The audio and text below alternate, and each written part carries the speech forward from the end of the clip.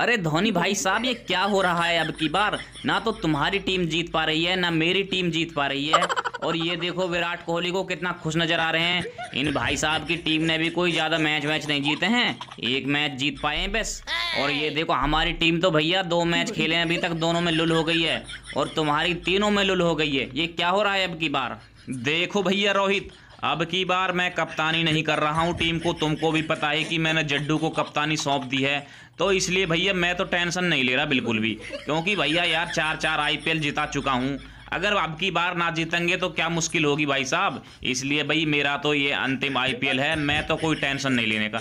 जब विराट कोहली, जिसकी टीम ने अभी तक एक बार भी आईपीएल नहीं जीता, उनको टेंशन नहीं है तो भैया तुम क्यों टेंशन ले रहे हो? तुमने तो इतनी बार आईपीएल जीता, इसलिए भाई चिल करो चिल अरे हमारी भी सुन लो यार तुम तो अपनी अपनी बक्के जा रहे हो। Oh, no. अरे रोहित धोनी भाई मैं तो टेंशन नहीं लेता कतई भी।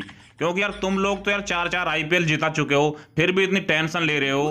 भैया टेंशन लेने का कोई फ़ायदा नहीं है। रोहित भाई तुम भी हमारी लिस्ट में शामिल हो जाओ और कप्तानी छोड़ दो।